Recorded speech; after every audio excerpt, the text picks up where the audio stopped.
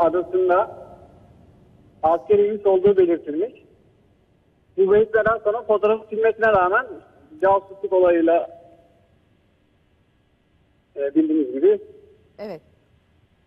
Ee, daha sonra son aldığımız videoya göre serbest bırakıldı şu an. Çünkü kendisi konsoloslukta.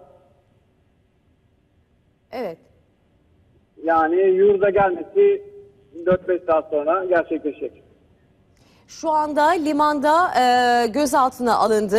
E, nedir son durum? E, iletişim kurulabildi mi veya Yunan yetkililerle görüşme imkanınız oldu mu? E, nasıl bir çalışma yürütüyorsunuz? Bundan sonra Avukatımız atacağınız adımlar neler görüştük. olacak?